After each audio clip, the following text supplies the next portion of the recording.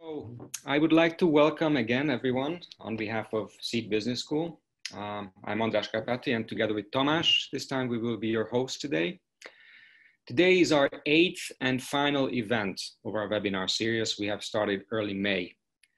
I would like to remind those who were here with us on one or more of our previous sessions uh, and also tell those who are here with us for the first time that all of the events are recorded and they are available on our website in case you have missed them or would like to watch them again. Before we start today's session, uh, and for those who are here for the first time, uh, let me briefly go through some technical information. We have now muted your microphones, but during the session, you are free to ask any questions via the chat icon at the bottom of the screen. And you can also let us know if you face any technical issues. Following the presentation, there will be a moderated Q&A session where I will read your questions and Tamás will answer them directly. In case we'll have time, we would also like to open the floor for live questions with your voice and camera on. So in case, if, so in case you would like to ask a question that way, please click on raise hand under the participant list and I will give you the word during the Q&A session. Please also note that your names or device names are visible to everyone if you want to change your name, you, you may do so under the three dots next to your current name. For seeing the slides better, you can minimize the participant window in the top right corner. At the end of the session, as usual, we would like to ask your quick opinion about how much did you enjoy the, web, the, the, the webinar. So make sure to stick around for a few seconds at the end. As usual, we plan to finish around 5 p.m., but as always, depending on your questions and the discussion, we are discussion, we are happy to stay with you for another 10 or 15 minutes. And now let me introduce today's topic and presenter. Today's webinar looks ahead in the future when meetings with more than just two people will be part of our normal business lives again. Oftentimes, middle management uh, members are called in to present one single item on the agenda of a top management committee, hence the title of this webinar. Since our presenter has ample experience in both sides of this critical situation, he is guiding the audience through practical tricks in preparation and delivery so that everyone facing such a task can succeed. And our presenter is Tamás Bernáth, who is a seasoned professional in banking and consulting, uh, with the additional benefit of starting his career as a trainer for several years after graduation. Recently, he has been a transformative chairman and CEO of MFB, Hungarian Development Bank. Before that, he had leadership positions at finance corporates like OTP Bank, Erste Bank, or BNP Paribas, and at consulting companies such as McKinsey, Scale, or PwC. Tamás also has an MBA degree from INSEAD and is now the chairman and CEO of Appennin Holding. He's an active faculty member of Seed Business School since 2016. And Tamás, the floor is yours now. Thank you very much and welcome everybody to this webinar. Uh, I have to admit I feel a bit like a radio host because uh, I'm accustomed to speaking to people, but I'm not accustomed to speaking to people without seeing them. However, I, I feel that there might be a way to actually make sure that you are listening and this little trick will be a poll. A little poll on this situation that András has already described, which is essentially when you are on the agenda. When you are on the agenda means when you have to present to a steering committee, when you have to present to a board meeting, basically in any case, you are on the agenda when you have to present to a meeting of people who are far your senior, or actually you have to present in a situation which has some kind of unique weight, some kind of unique importance to your career. The poll is going to be about what you feel in such situations. Even a bit more precisely, we are asking about the proportions of two major feelings. When you know you have to deliver a presentation at a meeting on top management level, what do you feel? Rather fear or excitement? Fear in the most negative sense that you can use it, and excitement in the most positive sense, like you are excited about doing your favorite sport. And of course, you can answer, as you can see, or as you will see, excitement and fear in equal measure. Let's see how you feel. And the poll is open. Please vote now.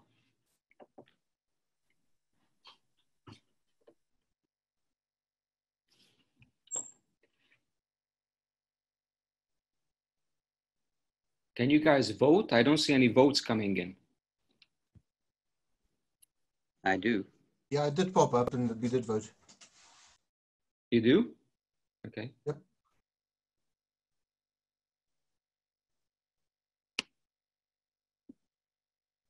Okay. Tell me, Tamás, when should we stop the poll? Well, we are nearing one full minute and now we have one minute. So actually we can stop here. Okay.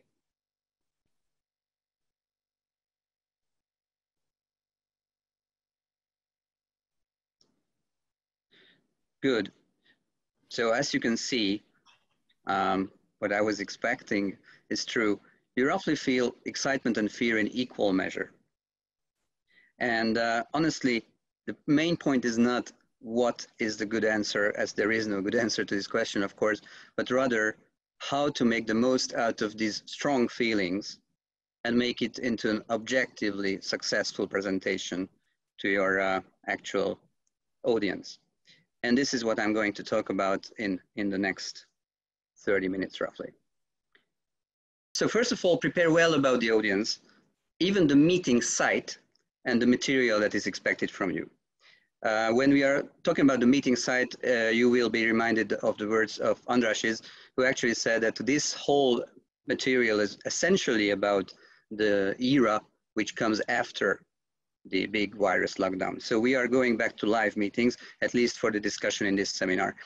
Honestly, some of the online uh, points can be also used from this uh, experience, including the little disturbance you just, uh, you just saw.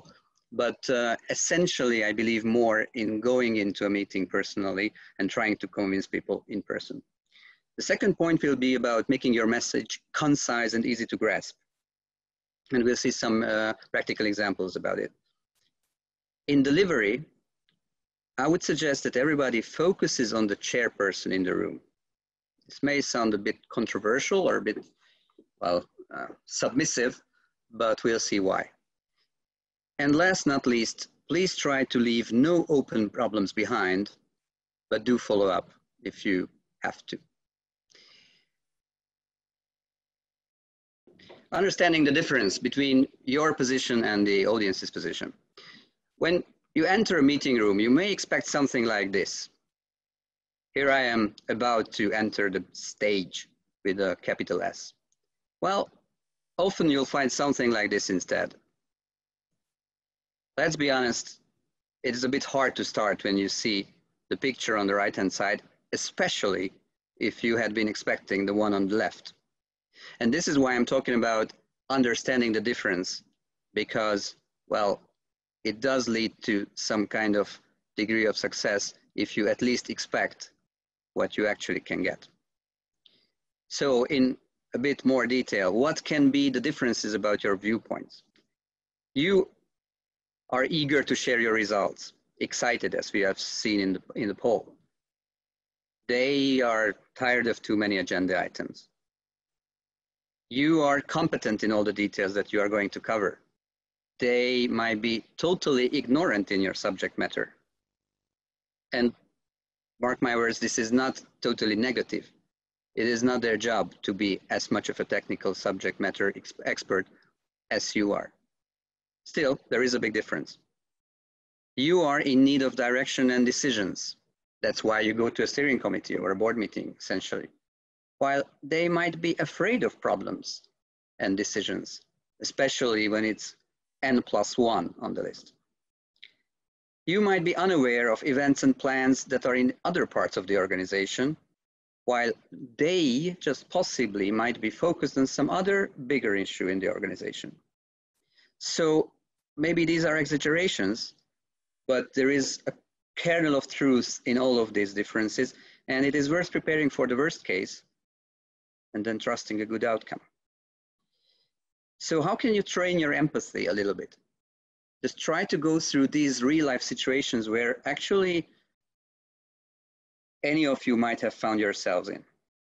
How does it feel to you when at the end of a tiring day, your small child comes to you to talk about how successful he was in a game that he played that day? How do you feel when an elderly aunt calls you up right in the middle of hurrying to a meeting where you are late, which you are late for, and wants help, but you cannot really help her? Or just simply, how does it feel when you are sitting in a movie, you watch an endless series of trailers and advertisements, and then when you think the movie is just about to begin, one more trailer begins. Well, at this point, you might ask, oh, so is it then all hopeless? Does it feel for them always this negative as these kind of real life situations feel for us? Well, no, the situation is not hopeless. Otherwise, we wouldn't do this training. And anyway, real life situations vary a lot, and you may be a bit lucky as well. More importantly, you can come out a winner if you prepare. And anyway, think through these situations. You do have a chance to actually feel proud at the end if you do listen to that small child and actually you do understand the kind of game that he's talking about. Or you may find out how you help your aunt and actually finish the day with a little good deed. Or there is a chance that if you do watch that one extra trailer, you may get impressed with the movie.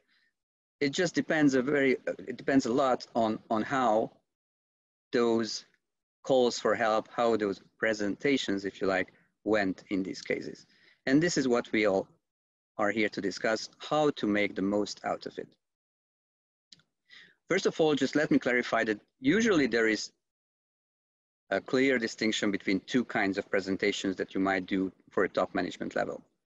Either you want to get approval for a change, like extra funds, another team member, some kind of reorganization, or you simply want to leave behind the feeling of all goes well. Most of the cases, the second, um, second is true, but the first is a bit harder to do uh, as, as, as everyone who is in the audience now and has already experienced such a case can witness. But anyway, the key point is to understand yourself, for yourself. What do you want to get out of the situation? An approval for a change or just all goes well? And in both cases, the same four points will apply that we already have covered, but let's reiterate. Prepare well about the audience, the meeting site and the material. Make your message concise and easy to grasp in delivery, focus on the chairperson in the room and leave no open problems behind, but do follow up. Preparation is 80% of your success. We have this little picture of the moon here, and well, while not as much of an alien territory as the moon, but believe me, you will be landing in alien territory when you enter that room. Just think back of the opera site and the site that actually um, you encounter when, in, when going into the meeting. So you, you will be landing in alien territory. What can you do? What did those do who wanted to land on the moon? They're prepared. So please do prepare as much as possible about the participants, the site, and the materials. In a bit more detail, let's go through what I would suggest you do in preparation. And when I say what I would suggest to do, um, I would underline a general caveat, a general warning, if you like. All of this is really based on personal experience, but the price to pay in this situation is that it is my personal experience, meaning it may be different for others, it may be different for you personally. This is really just a list of ideas that you might treat as a menu. Audience. First of all, you should know who is going to be in the room. This sounds like, you know, very, very basic. However, it is not always the case that you actually know who are the members of a committee. Even more important, you should know who the chairperson is. And by saying you should know, I include knowing how they look. This is absolutely normal that you might not know, let's say at N minus three level, you might not know how the CIO of a company looks thank Google, it's not too hard now to actually find out, but it is something of an embarrassment if you don't know that you are actually speaking to a person you should be aware of uh, the position of. And this is actually easy to avoid. It's easy to avoid if you know how they look. Peer experience, meaning if you know anybody in the organization who just did the same kind of job like you did, who already presented a quarterly controlling report or whatever um, stream in, in a steering committee setting, talk to them. Please ask them what, what were their experiences, especially what are the habits in these meetings. Because if these meeting participants hate something, then it is to be disturbed in their habits. If they always have paper handouts, let them have paper handouts. If they never have Q&A, don't push for a Q&A, and so on. So try to figure out what are the habits. Friends and foes. So those who like them, like each other uh, in, the, in the room, and those who don't like each other that much. Obviously, this is sensitive territory you shouldn't uh, inquire about it in a too open way. But definitely, for example, if there is a peer experience to build on, it's good to learn who is on whose side and who are definitely not on the same side. Don't overuse this knowledge, but it will help you to understand, for example, why some of the questions are a bit more aggressive than the others at the end. Technical competence. As I said, most likely they will not know that much about your subject matter. However, usually there is someone who does, and you should find out who that person is, especially because once again, the questions, on the questions level, this might be uh, important to know. And uh, last but very not least, something uh, I learned in my consulting background or in my consultant years, try to arrange for a pre-meeting. This is a bit harder to do if you're inside an organization, I know. But still, if you can somehow manage, especially before a really important meeting, to get the chairperson and your boss in the same room and have a little bit of a pre-meeting for the three of you just to test the key messages, well, that's halfway to victory, if not more. Okay, the site. Um, once again, I suppose we are talking about a physical room. So if you can go to that room before you actually do your presentation, once when you can go in alone, it will help you understand a lot. And if you picture it full with people, then you will have an easier start and less of a fear when you actually enter. Check the te technical setup. It's an important point which we have just made, although it also was shown that no matter how many, how many uh, trials you, you go for, error can always be there.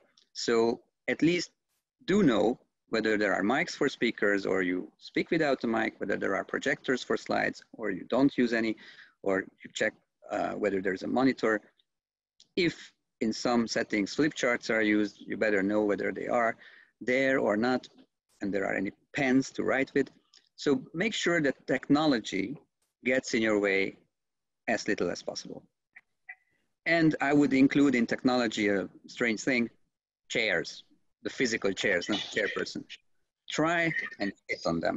Try sit on one of the chairs. You will actually understand better how you will physically look like and how you will physically feel when you do the presentation.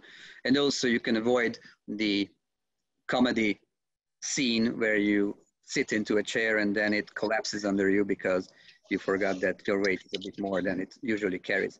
So the point is test the chair. And also check where you actually wait for being called into the meeting because that's a space where you will need some privacy and at least in my case, you will definitely need some water. Also, once again, the point of advice is know what you need. If um, you are more relaxed if you chat with someone before you enter that room, do that. Although I would usually suggest a bit of calm and a bit of being alone. Okay, and then materials. So what should you talk about and what should you bring with yourself as a presentation material? First of all, here expectations are paramount. So please clarify whether it's PowerPoint or Word, whether they need any or not. And uh, if there is any material to be done, then I would suggest a slide as opposed to a word and a one slide ex executive summary, maximum three slides. there is a good reason to think that this will be all that you can actually show.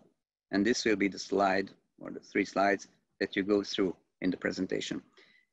If you have support material, that's actually very good to do, uh, especially if you want some change after the presentation, because then you have to have numbers and facts ready, but don't expect to actually distribute them and most of the time don't, don't even expect to get to the point where support material can be shown. Now, um, E really, um, we have written here as little technology as possible uh, because whatever can go wrong can go wrong in a presentation. And uh, honestly, it is a little easier to hand out some executive summary sheets on paper than uh, somehow actually uh, working out what the executive summary uh, sheets would look like if the screen would be on, which is not.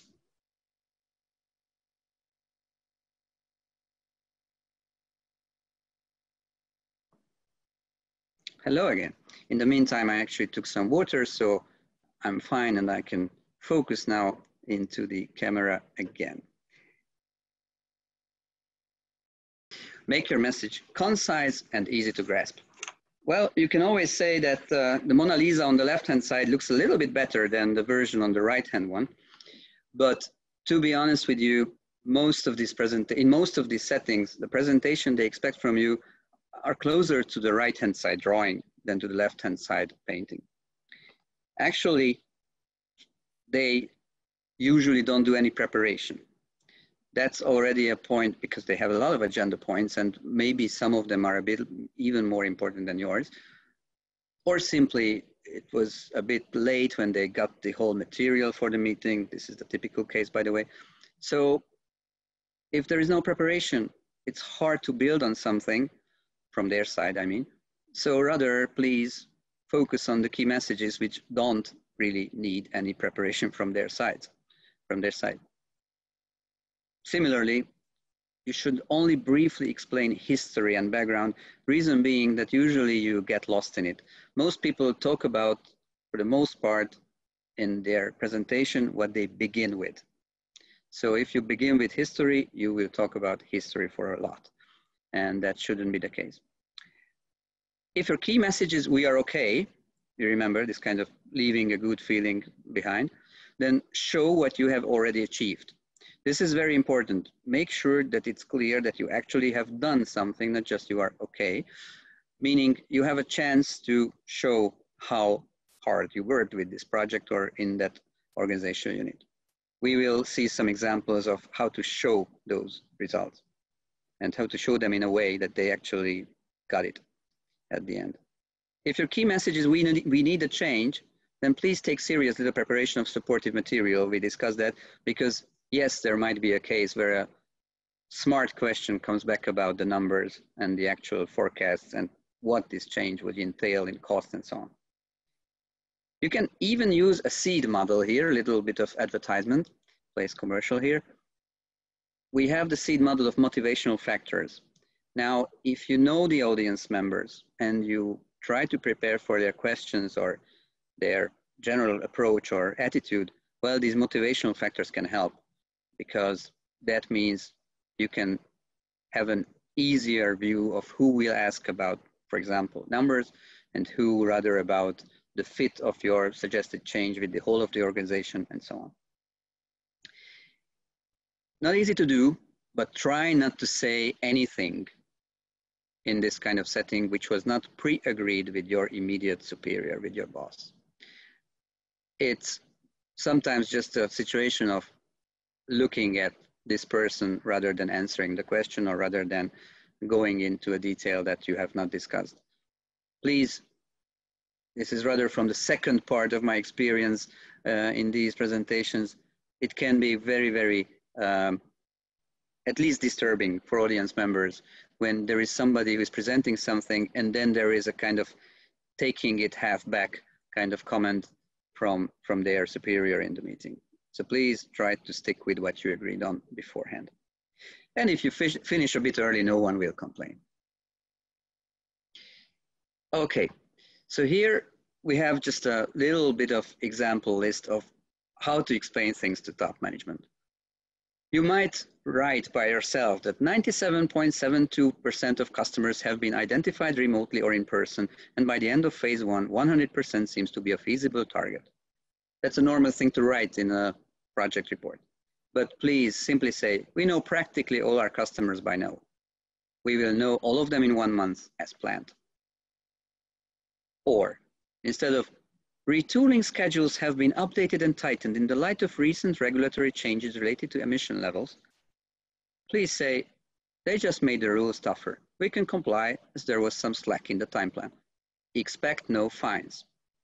This is a magic sentence for top management. Let me tell you, expect no fines. Or instead of IT downtime due to core system replacement is expected to fall under the predefined 0.05% threshold after milestone seven, try simply saying, from next Monday, those annoying little messages will get off your screens. Okay, so if you deliver, who you deliver to?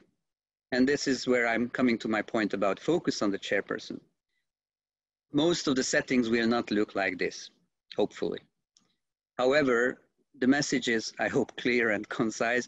Please try to focus on the person who is chairing the meeting. Why? Because in a short meeting of strangers, eye contact matters most. But if you are presenting to a whole body of people, to an actual meeting audience, well, you simply cannot look at all of them. So if you have to decide, you should decide with looking at the chairperson. Second most, you should look at your boss, sometimes around, and very rarely to your notes. In delivery, you should be clear and confident of course you say, but how to do that? Well, there are two easy tricks. Your greeting and your first short content sentence should be pre-written and please learn it by heart. Sounds like overdoing it, but believe me, when you are in the situation you start speaking, you might even not remember the official name of the project you are presenting. So learn it by heart. Similarly, put together a closing sentence and the farewell term and learn it by heart or write it down for yourself, but essentially make, make it sure that you know how you are going to finish. Now, one more controversial idea, maybe. Please avoid presentation tricks and jokes.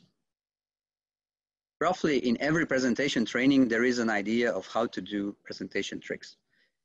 Here, you won't have any. These are simply too risky. You don't know enough of the audience. You might hurt some feelings. You might find out something that you don't, didn't want to find out.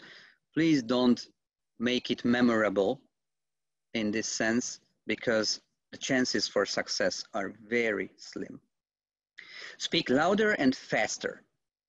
Practically, this always helps, meaning practically after a while, everybody starts to speak a bit too low and bit, a bit too slowly. So actually, usually if you remind yourself to turning up the volume and putting in a bit more speed, it helps.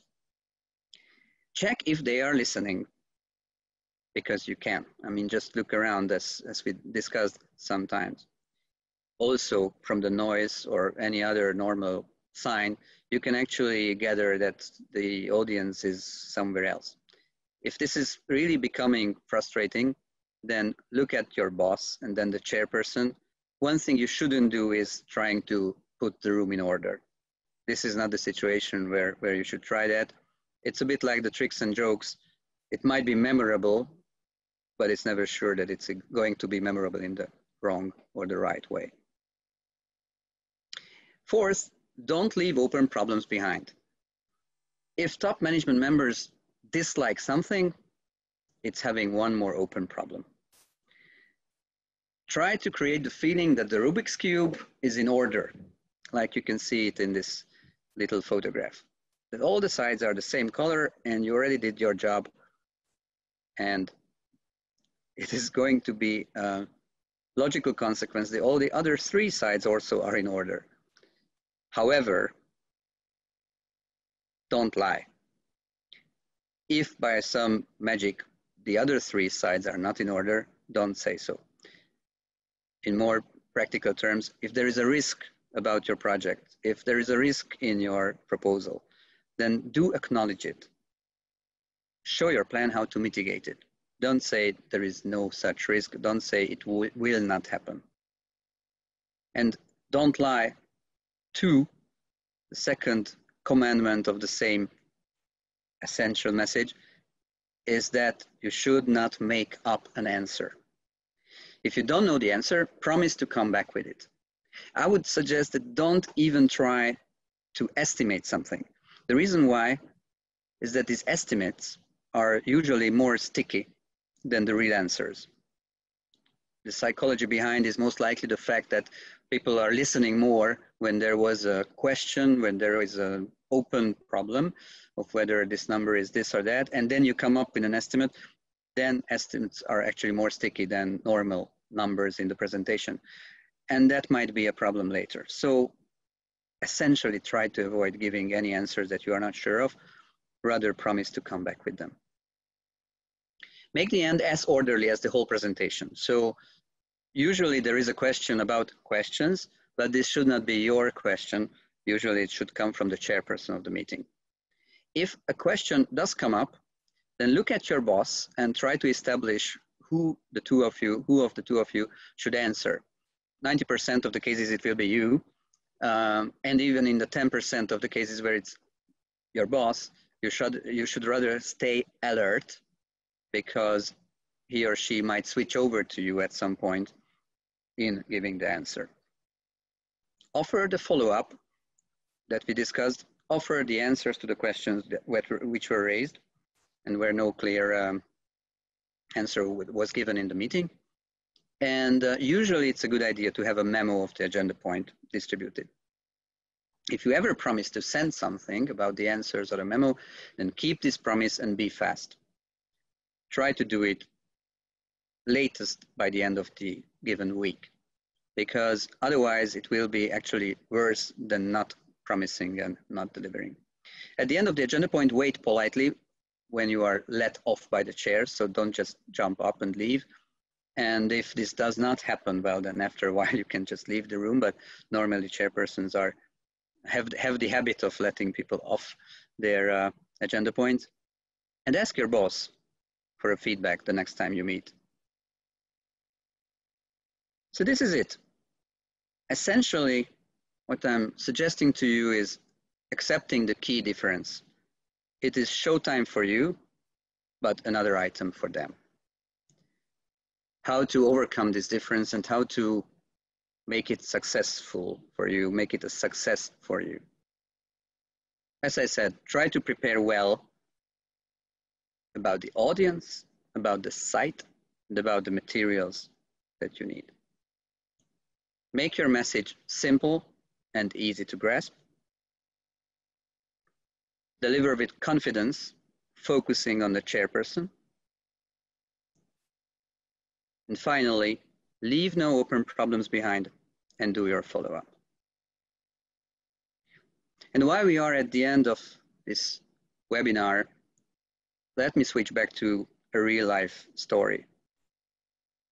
Because I really hope that all these tools and maybe tricks can help you to turn your fear into excitement and your excitement into success. However, I have to also think back to a story where I was presenting almost 20 years ago. And uh, I think it was a situation that I will remember all my life. Actually, we were working for, a, as a consulting company, we were working for a bank, and we had a proposal in front of a steering committee where there were two vice presidents of the bank, two VPs. Now, the proposal was essentially to move an organizational unit from one of them to the other. As you can guess, one of them was for the proposal and the other is against, other was against it. But what I did not expect was that actually it came to shouting in the room. These two VPs were cursing each other, calling names on each other. The total, there was a total chaos at some point and I just as a presenter, had to look at the chairperson and, and basically asking for help in restoring order. Now, many, many uh, discussions later, uh, I have to also add that the proposal was accepted. One of the VPs has won, and let's put it simply, the other has lost. And now, after 20 years, I'm still great friends with one of these two VPs, with the one who lost. Because after all, presentation tricks and tools can only go so far. I would even say that achieving success in such organizational situations matters only so much. My personal farewell to you at the end of this webinar would be that uh, people count more and friends matter more. Thank you for your attention. Okay. Thank you very much, uh, Tamás. Uh, and now um, we look forward to receiving your questions. Please, you can either write us via the chat uh, icon or you can also uh, click on raise hand if you would like to ask your question in person with your voice and video on. Uh, and while the questions are arriving, uh, Tamás, let me, let me ask you maybe one or two questions about what we have discussed previously uh, this webinar and also, also you also raised these points during the webinar. Um, you talked about your boss being present and uh, the, the, situations where you, you should have an eye contact with your boss. Um, but what if what if your boss takes over the presentation? What if he sort of steps in and takes the word from you? What would you recommend in that kind of situation? Well, this does happen from time to time, and um, in such cases, a similar thing applies than what we talked about when uh, discussing answering questions. You should obviously let your boss do it, um, but also stay alert. Don't don't lean back and don't don't say that okay the presentation is now done by this person, by my boss. Rather prepare for getting the kind of questions like what is this number actually or how was the name again and then you really have to be there to to actually to do a bit more than what you would normally do as a presenter because you have to answer a given question rather than doing it your way. So I would say let them do it, but be always prepared to take back. Okay, thank you. Um, in the meantime, we have a question from Attila, who is asking about animations. You talked about tricks and jokes and so on, how do you look at animations? Are there the trick part of the presentation? Uh, so the question is, should you avoid animations and keep it as simple as possible? Or you may uh, use them in a sort of controlled manner? Well, I think um, I would usually avoid them. First of all, you can get a bit nervous. You push too many buttons too many times then you get ahead of the animation, then it's harder to go back. So basically you just create some sort of extra danger for yourself.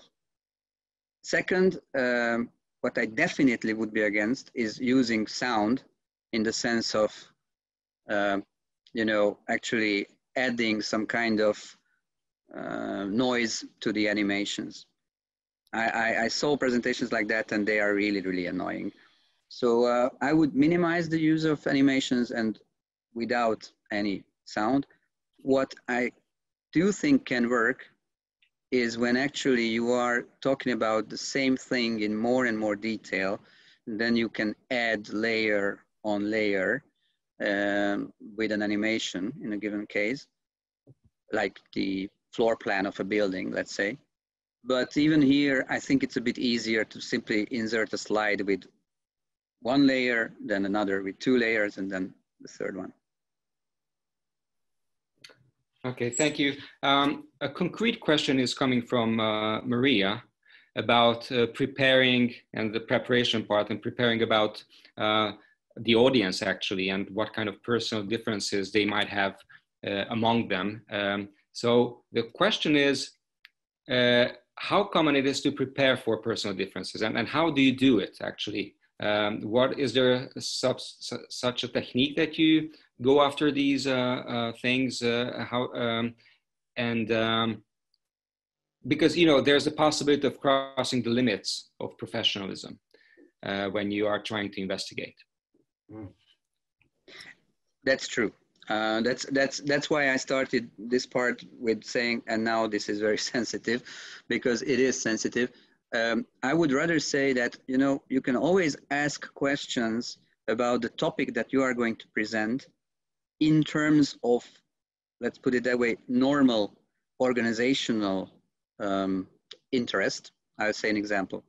Uh, then asking like, uh, aren't we afraid that that guy will just you know kill the project so what i mean by this normal organizational thing is that for example you suggest a change in the deadlines of the project. And then you can ask around together with your boss or just on a peer level whether this deadline shift would really endanger anything from the point of view of another organizational unit. Like uh, you are suggesting a change in the uh, moving plans of your office building while IT has a plan for changing the core system. Now, how can your deadline change affect them? Possibly they're going to be happy because they are late anyway, but uh, normally this is a question you can ask without asking, is IT an enemy? And if the answer, if the answer will come back that, well, they are fed up with, let's say, back office, because this is the n plus one time that such a deadline change comes up and you are not the first to suggest such a thing, da, da, da, then you will already feel that, well, there is some kind of um, real bad feeling about this and it is more than just a timeline shift. So basically ask the questions in an objective way and then listen well to the meaning behind the answer or maybe some people will simply tell you the meaning behind the answer right away and say that, well, you know, there is anyway a big, um, uh, a, a, big difference between the opinions of, of IT and you. So essentially ask like it's just a normal question and then prepare for a loaded answer. Okay, there are some good uh, technical questions coming in, uh, some really practical ones which are quite interesting. What if, uh, although you said that you might ex experience the case when half of the people are sleeping when you enter, but what if you have some active people in the room? So a question from Katalin is, is, is, is, uh, is saying, or, or asking, Katalin is asking that, what if you have people that are commenting all the time, adding sentences or comments to your points, uh, which means that you are running out of time at the end and you are not able to make the progress you are aiming for.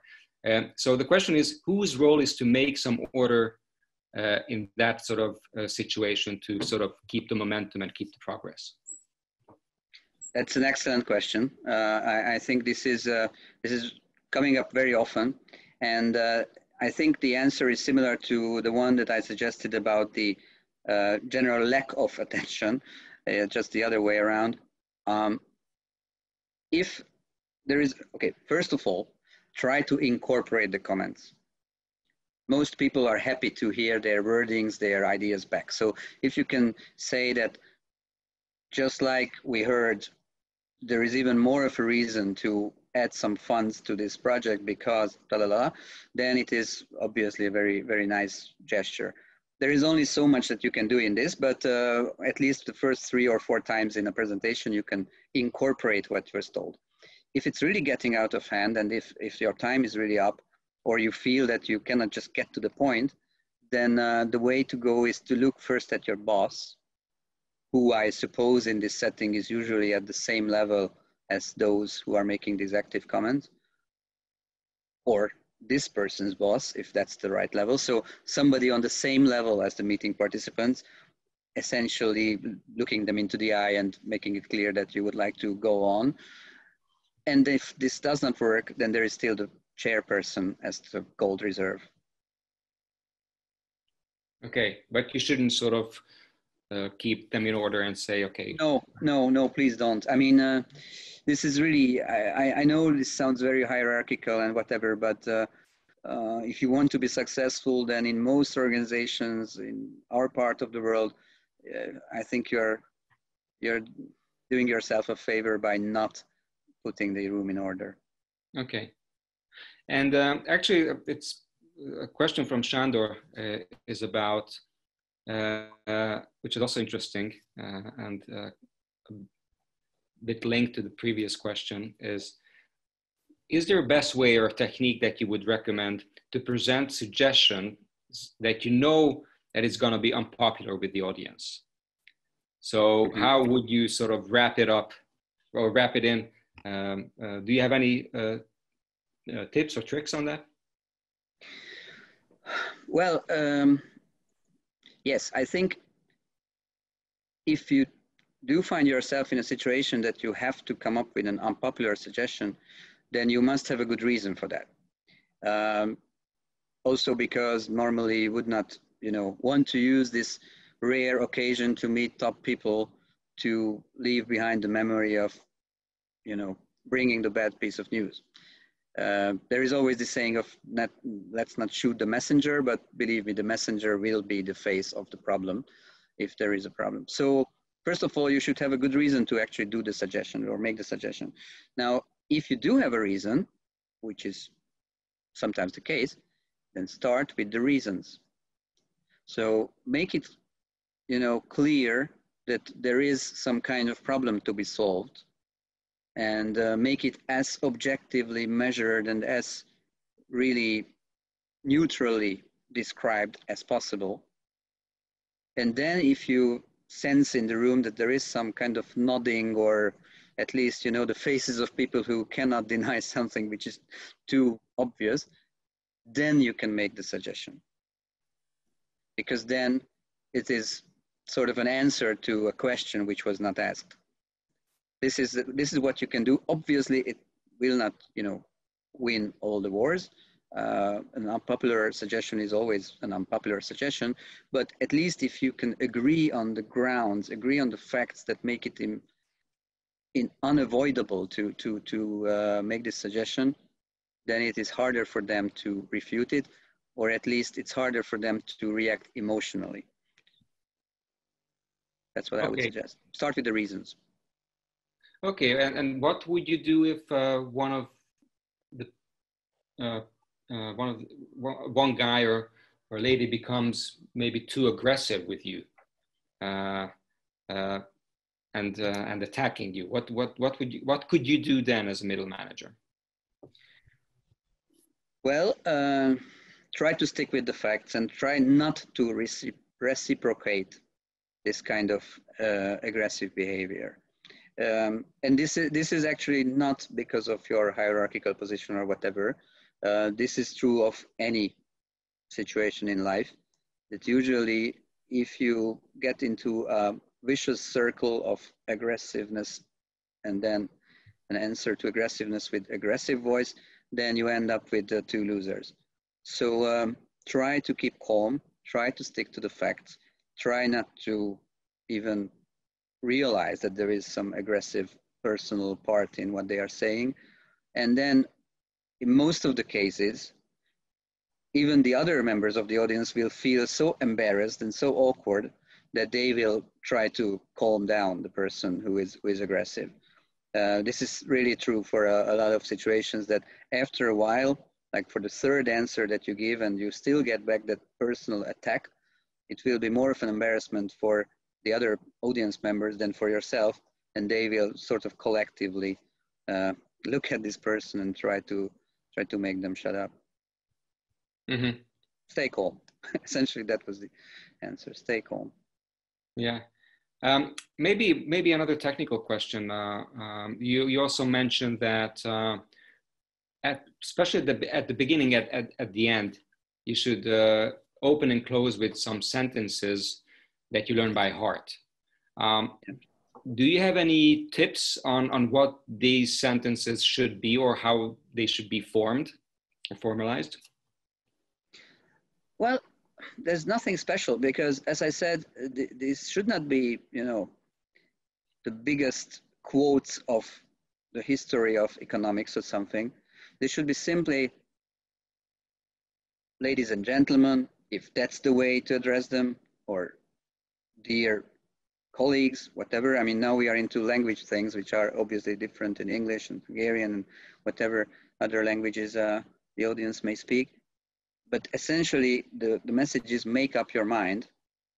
So if it is ladies and gentlemen, then keep it ladies and gentlemen. If you want to say dear friends, say dear friends. But the important point is know what you want to say. And uh, really, I think most of us have been already in a situation where they, for example, had to introduce somebody to somebody else who they actually knew very well. And for that moment, especially if they were on a stage, they forgot the name. You know what I'm mm-hmm. thinking of? And this is the kind of thing that you want to avoid. I mean, make sure you really learn by heart the official name of the project. Um, just a very, very simple uh, example that just, you know, somehow came to my mind that uh, the whole world knows about this tragic um, pair of uh, the Prince of Wales and, uh, and, and Diana, the Princess of Wales, where actually at the wedding, Diana said the names of his uh, husband to be in the wrong order. Mm-hmm. And uh, this is the kind of example I want to give that if you are really excited or fearful or both, you can really make mistakes that are, are uh, hardly imaginable if you are in a normal life situation. So this is why I'm saying try to figure out what you want to say and start with those two sentences, a greeting and something about the content. Okay, thank you very much. Um, um, and I would like to ask the audience to, if you have any further questions, to send us uh, an email after this webinar. As usual, you will get a, uh, an email, a follow-up email following this session um, with all the details. And of course, um, just like the previous ones, um, this, this session was recorded and will be available on our website together with the slides uh, of today. And um, now thank you, Tamás, for, for moving on. Uh, and now this is the time when I would like to again ask for your opinion about how much did you enjoy today's session. So between uh, one, on a scale of one to seven, please select a number now. Thank you very much.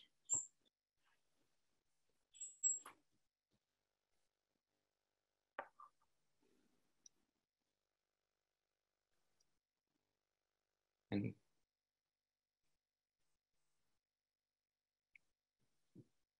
Okay, for some reason, I'm not seeing the poll now. So I'm asking Tamás if you can see how much, what is the percentage of voters? 90% uh, voted, so we can wait for 10%. Okay. Let me know when it stops and then I end the poll. sure. Sort of technical bug. On, on our last event, the technical issues came in, but I think we, all in all, we, we managed well so far. So should I? I so, but we couldn't convince the last three participants to vote, so I think you can end the vote. Okay. Okay, and um, so thank you again. And um, I do hope that you enjoyed our webinar series. Uh, and um, um, if you if you did, uh, we of course hope to see you on our programs, uh, on our leadership uh, and man management programs, or our international executive MBA that we are launching during the fall. You may find all the details on our website. You can see the link here.